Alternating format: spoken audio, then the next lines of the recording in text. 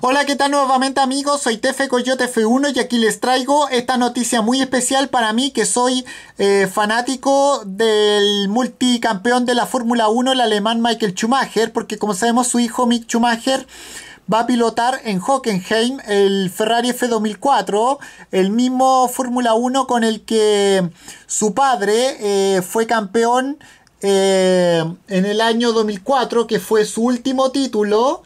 Y bueno, como sabemos el hijo del Kaiser hará una exhibición antes de la clasificación y de la Drivers Parade. Y bueno, bueno, Mick Schumacher va a hacer una exhibición con el Ferrari F2004 de su padre eh, durante el transcurso del Gran Premio de Alemania que se va a celebrar eh, el último fin de semana de este presente mes de julio en, en la pista de Hockenheim. Bueno, recordemos que Mick Schumacher, el joven Mick Schumacher, compite actualmente en la Fórmula 2, pero hará un hueco en su agenda para subirse al auto de Fórmula 1 con el que su padre Michael ganó su séptimo y último título mundial en eh, la temporada 2004 y bueno, como sabemos el alemán dará varias vueltas a exhibición minutos antes de que empiece la sesión de clasificación del día sábado.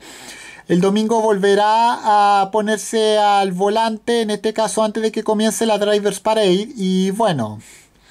Como sabemos, eh, Michael Schumacher es, como sabemos, el piloto el piloto más exitoso de la historia de la Fórmula 1, ganó en cuatro ocasiones en Hockenheim.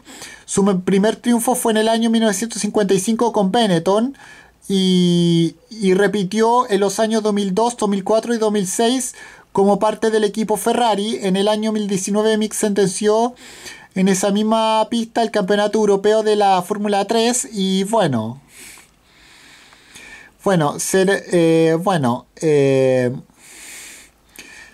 como dice acá Ross Brown, eh, quien ahora es eh, director deportivo de la Fórmula 1 y pieza clave eh, de aquella Ferrari multicampeona, será emotivo ver a Mick al volante de un auto, de un auto con tantos recuerdos. Bueno.